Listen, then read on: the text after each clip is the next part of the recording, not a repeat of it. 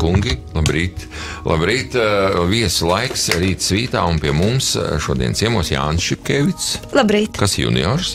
Uh, Labrīt. jā, labrīt un uh, diriģents Valdis Butāns. Labrīt! Sveicināts! Labrīt! Labrīt. Um, uh, Kaut kas atkal tāds jauns un um, pilnīgi negaidīts, Jāni, no tavas puses, un arī no valda, ir, ir, nu, kā to sauc, izperināts vai. Jā, es vai... varbūt no savas puses tādu mazu ievadu, kā, Lūdzu, tas, eh, kā tāpēc. mēs te vispār esam nokļuvuši. Jā, Eh, Tas viss sākās eh, labvakar laikos, sen, sen atpakaļ. Ir tevis tāda- vēl nebija. Eh, ma- Es tikko sāku rasties. Es, biju, es sāku jau tā kā virmona gaisā, teiksim tā, jā. Un, eh, un Valdis, eh, kurš šobrīd man sēž blakus, eh, ir cilvēks, kas man skolas solā sēdēja blakus eh, 12 gadus. Jūs esat soli biedri 12. Jā, mēs esam eh, klases biedri. Un tagad jūs atkal blakus. Un, un šī ir mūsu pirmā tāda Pirmā muzikālā reize pēc skolas, At- kad mēs atkal se- sēžam satikšanās. atkal pie viena galda. Kopā. Un, jā, lai arī tādi mūsu muzikālajie ceļi ir, ir veduši ļoti dažādos virzienos, šis ir pirmais, pirmais krustojums, kurā mēs, kuru mēs šķērsosim Tas ir liels eh, notikums. kopā. Jā, un Valdis ir, ir, ir bijis eh, ar orķestriem, koriem un, eh, un pie operas eh,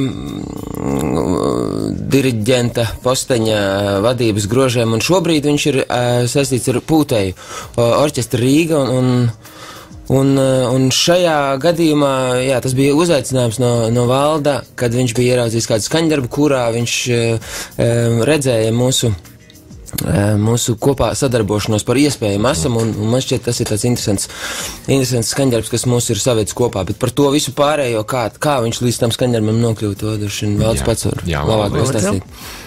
Jā, nu mans tas stāsts ir eh, nu, tāds, eh, varbūt ne, ne tik garu ievadu, bet eh, kopš šī, šī gada sezonas, koncerta sezonas, es esmu uh, ievēlēts par uh, orķestra Rīga māksliniecisko vadītāju un galveno diriģentu. Būtībā šis ir, paldies, šis ir viens no, no, no nemin, nu, teiksim tā, vienīgais uh, Baltijas valstīs un Ziemeļu valstīs uh, nemilitārais profesionālais pūteju orķestrs. uh, Pacifistiskais. Mūsu, mūsu re reģionā, jā, pacifistiskais. Un, jā, un, un šis orķestris katru gadu pavasaros rīko uh, festivālu Winstream, kas tieši iezīmē pavasara sākumu. Mēs to vienmēr atzīmējam ar savu mu mūziku, ar orķestra mūziku. Un, un uh, katru gadu mēs, protams, cenšamies kaut ko atrast jaunu, kaut ko vēl nebijušu. Un šis gads nav izņēmums, jo mums ir tiešām vairāk jaunumu, par kuriem es varbūt laika gaitā pastās- pastāstīšu. Bet nu, tas pirmais un viss vis tāds skaļākais varbūt jaunums ir šī festivāla atklāšanas koncerts Dzelzceļa muzejā, kas būs uh, 20. martā. Tas jau ir šo svētdienu. Jūs esat precīzi trāpījuši pulksten- sākumā. Jā, tieši tas arī tā ir domāts. 6.30 no rīta. Uh, varbūt ne gluži 6.30, bet 19. no mm -hmm. vakarā. Un, un šajā koncertā jā, mēs Latvijā pirmatskaņosim amerikāņu komponista Skota Makalistera uh, skaņdarbu pūtēju orķestrim, solistiem, vokālam un uh, ģitārai, uh, solo ģitārai, un, un skaņdarbu nosaukums ir Merkūrijs uz mēnesi. Un uh, kā solisti mūsu šajā koncertā pirmo reizi pie, a, a, ar orķestri sadarbosies, kā, kā jau jūs dzirdējāt, uh, Jānis Šepkevits, mm -hmm. Šipsī, Viņš būs, viņš būs Merkūrijs. Viņš būs vokāls. nozīmīgs, jā. Viņš būs vekā, vokāls un, un kā ģitārists, mums, eh, nu, vienkārši ģitārs virtuos, un man vienkārši milzīgs prieks, ka mēs viņu tiešām dabūjam. Šo projektu, būs Ma- Matīs Čudars, un viņš tiešām tajā mēģinājuma procesā, nu, tur vienkārši nāk brīnuma lietas no ģitāras ārā. Tur brīžiem pat nevar pateikt, ka tā ir ģitāra, ko viņš spēlē. Tas vienkārši kaut kāds kosmos, nu, tādā vis, visneiedomājamākajā veidā. Pūtēja orķestra ģitāra. Pūtēja orķestra solo ģitāru ar, uh, ar balsi, ar balsi, kura vienkārši ir, nu, ar, uh, turklāt elektroniski transformēta bieži vien ar dažādu, nu, Mhm. arī tā balss iespējas. Varbūt tas ir, tā ir tā sasauksme ar, ar to Frediju Merkūriju, jo, nu, tiešā veidā tur šī Fredija Merkūrija citāte vai dziesmas nav likt iekšā, bet, kā pats autors komponists stāsta, nu, tā ietekme no Fredija Merkūrija ir viņa balss diapazonu un tembru ne, nu, neie- neierobežotās iespējas. Un tas saudabīgā veidā transformējās tādā elektroniskā balss transformācijā, kas arī ir solistu partijā. Bet Skots uh, Makalisters, jā, es saprotu, ļoti nu, tāda figūra nozīmīga. Jā, Amerikas savā pūtēju orķestra repertuārā viņš tiešām ir, Mhm. nu, Amerika būtībā ir vadošā šajā, žanrā, pūtēju orķestra mūzikas žanrā, tur tiešām ir ārkārtīgi daudz pūtēju orķestru, un viņš ir tiešām viens no redzamākajiem pašlaik un aktuālākajiem komponistiem, un man, man prieks, ka viņš pats atrada iespēju un laiku atbraukt pie mums uh, uz, pirma, uz pirmaskaņojumu Latvijā, un viņš mm -hmm. pats būs arī klāt un līdzdarbosies šī atskaņojuma uh, ietvaros, jo tur arī paredzēts, teiksim tā, arī audio celiņu faili, mm -hmm. kas iet partitūrā paredzēti, kas iet paralēli muzikai ar, ar dažādu, dažādu, dažādu reliģiju, uh, kultūru, izsaucieniem, um, lūkšanām, un tur ir, jeb, jeb, nu, visdažādākās lietas tur varēs sastapt.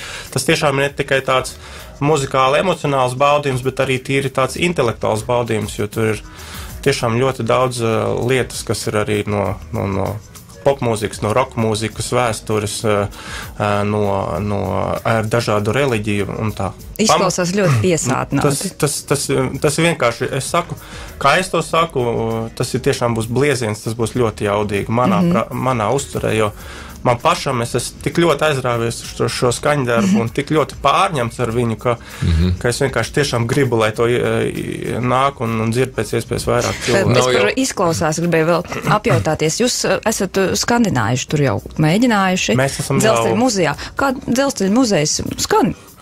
Nē, diemžēl mēs vēl dzelzceļa muzejā neesam tikuši. Ah. Mēs dzelzceļa muzejā tiksim tikai koncerta dienā, mm -hmm. pirms kā, izmēģināt akustik, akustiskās lietas, jo nu, vienkārši noslodzes dēļ mums tur iepriekš nebija nebija iespējas tikt, jo, jo šis muzejs ir diezgan noslogots ar citādā, no, citiem pasākumiem. Bet Valdis dzīvo Ogrē, Jā. un viņš brauc ar vilcienu bieži vien. Līdz ar to viņš zina, kā ir dzelzceļa muzejā. Viņš katrs tās māržē tā pati. Tas jā, es arī zinu, kā tur ir, un vai nav, nu, bail mazliet, nu, ja pēdējā brīdī jūs ieiet, nu, tas skan pilnīgi savādāk nekā tomēr iecerēts. Nu, tas ir, arī. protams, riskanti, bet šī vietas uh, izvēle bija, nu, tā, viņa, tā bija apzināta mm -hmm. izvēle, jo šis skaņdarbs ir tik netradicionāls, tik alternatīvs pēc savas būtības, ka es neredzēju iespēju viņu atskaņot kādā no tādām mm -hmm. tradicionālajām sterilajām koncertzālēm, kas mums īstenībā arī nemaz nav tik daudz. Kuras jā. nav vienkārši. Jā. Tas ir tāds jūtas. Es nezinu, vai būtu lielā ģilda, varbūt tā pati piemērotākā šāda tipa mūzikai. Man liekas, tieši tas dzelzceļa muzeja atmosfēra un tā pati telpa šim skaņdarbam palīdzēs nu, iegūt pilnīgi citu dimensiju. Citu vilcienu. Citu, Jūs uzticaties paļauties. Citu vilcienu, jā. jā. Nu, mēs esam diezgan daudz lielu darbu jau izdarījuši mūsu mēģinājumu telpās ar, ar elektronikām, un mm -hmm. mums būs ļoti labi nu, arī cilvēki skaņu režijā, kas to visu, man liekas, operatīvi Bet, spēs um, izdarīt. Orķestris Rīga jau nedodarbojās tikai ar avangārdu, vai ne? Jums taču ir Nē, mēs esam, mēs esam, mēs esam orķestris, manuprāt, kurš ir Latvijā, varētu teikt, visplašākā spektra Mēs mūzikas. Pašlaik mūsu klausītāji dzird uh, jūsu ieskaņojumu Raimonda Paula svītas fragmentu. Ja? Jā, tas ir pilnīgi, pilnīgi tas ir melnās krāsas. Jā, jā pilnīgi, pilnīgi kaut kas cits. Tas nav makalisters absolūti. Jā. Nē, tas nav makalisters. Arī, tā ir arī viena šķautne, ko mēs, mūsu orķestris kopja. Mums ir um, arī šī festivāla, Winstream festivāla ietvaros, mm -hmm. būs arī um, džēza koncerts ko mēs pirmo reizi esam uzticējuši mūsu, mūsu muzeķim Dāvim Jurkam, kurš ir saksofonists. Viņš šo, būs šī koncerta muzikālais vadītājs. Un, un šis koncerts bū, notiks 6. aprīlī Splendid Palace, kino Splendid Palace lielajā zālē, pulksten 19. Mm -hmm, un tas ir ļoti interesants varbūt tādā sakarā, ka uh, Šajā koncertā viņš ir veltījums Ivo Robičam, kurš ir horvātu džēza mūzikas, tā, teiksim tā, Franks. Sinatra, mm. ja, kā viņu pats dāvis raksturo. Un tas ir nav nejaušs šis raksturojums, jo patiesībā fra, ļoti, ļoti visiem populārā un pazīstamā dziesma Strangers in the Night, viņš patiesībā ir šīs dziesmas autors.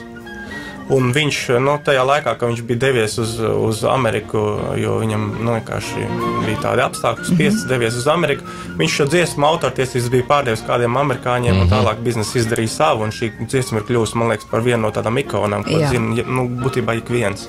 Bet nu, redziet, kā ir, ka izrādās, ka šī dziesma ir uh, horvāta autora Ivo Robiča mm, ga, gara darbs. Tātad Winstream, tas festivāls, tas ir tāda liela, li, liels apjomā un, un laikā. Liels festivāls. Apjomā telpā, jā, nu, ma, ja, ja mums no, šis te, šis te Um, sākums ir uh, šo svētdienu, 12. Jā. martā. Viņš noslēgsies šogad, noslēgsies uh, festivāls 12. aprīlī Lielajā ģildē ar diezgan klasisku koncertu. Tur būs diriģents Ainārs Rubiņš un atskaņos uh, nu, ļoti labus uh, pārlikumus orķestrim, klasiskās mūzikas pārlikums ar, ar lielo šī gada jubilāru uh, kompozīcijām. Tas ir uh, Sergejs Prokofjevs, mm -hmm. Šostakovičs un mūsu pašu Romalds Kalsons. Oi, cik daudz ir tagad mums jau informācijas Jā, no visām virzieniem un Tur stiliem. tiešām var atrast jebkurš mūzi, mūzikas mīļotājs. Mm -hmm. Varbūt pēdējā tāda lieta, ko es tiešām gribētu arī varbūt šī radio auditorijai varbūt arī būtu ļoti interesants mm, koncerts. Tas mums būs 28 um, martā. Mm -hmm. Tās ir otrās lieldienas koncerts ģimenēm ar bērniem, lielā ģilde. Uh, un šis koncerts ir ar nosaukumu Orķestro mīma. Jo, jo, jo šis nosaukums ir tādēļ, ka mēs sadarbosimies ah. uz ska vienas skatuves kopā ar Rīgas pantomīmas trupu. Mm -hmm. un, un tiešām tas, tas būs tāds vien, vienu otru papildinošs pasākums. Netraucēs kur, jums mīmi. nē, mēs, mēs viņiem traucēsim, viņi mums traucēs, un mēs viens otru papildināsim mm -hmm. tiešām vienlaicīgi uz skatuves. Un, un pirms šī koncerta, kurš sāksies pulksten piecos, Uh, ir aicināti visas ģimenes ar bērniem. Uh, būs tādas nelielas tā kā darbīciņas, uh, kur varēs uh, um, bērni mm. -hmm. iemēģināt sevi mīmu lomā. Vai drīksties iemēģināt ie, iepūst instrumentā? Drīk, es domāju, ka. Iepūst trubiņā, teikt, Jā, man tā aizvakar lika vēl trompeti nospēlēt, es braucot. Maz pasāžu. Vispār šķiet, ka vajadzīga tāda rotaļa. Jā, ne, atgriežoties pie, nu, pie Makalister kunga un uh, piedāvājuma, jā, jā. kā tev, tas tev kaut kas jauns tomēr ar pūtēju orķestri. Jā, jā, man tas ir avantgārda. Eh, kaut kādā ziņā tas ir uh, tuvu. Um, no tā skatu punkta, ka tas ir ļoti eksperimentāls skaņdarbs un, un eksperimenti ir tas, kas, uh, kas man šķiet visizaicinošākais un vispār interesantākais ikdienā un sevišķi mūzikā. Un, un, uh, Šeit, protams, ļoti interesants ir tas ietvars, kas ir orķestris un, un tiešām uh, diezgan uh, E, diezgan blīva partitūra, kas, kas ir, e, kas ir nu, kā tāda karte, kurā mm -hmm. tu mhm. skaties un mēģini orientēties. Un, un, un tāpat laikā ir ļoti e, komponists arī saglabājis vietu brīvai improvizācijai, un, un ir vairākas tādas ģitāru, ģitāras improvizācijas vietas, kurās tiešām Matīs Čudars, kā manuprāt, viss, viss, viss tāds spožākais un viss izteiksmīgākais Ehm, īpaši džēzē ģitāras eh, virtuos, viņš eh, tiešām kaut kā spēja to visu parādīt vēl citā, citā kontekstā. Un,